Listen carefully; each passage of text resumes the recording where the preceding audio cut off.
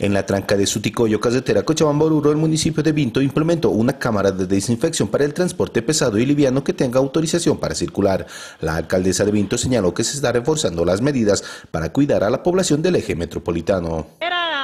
La preocupación porque ustedes saben muy bien que estos vehículos están viniendo de afuera y bueno, pues no sabemos qué clases de vehículos están viniendo, si están viniendo con infectados o no están viniendo infectados. Este aporte que están haciendo los empresarios del Valle Bajo es importante para nosotros.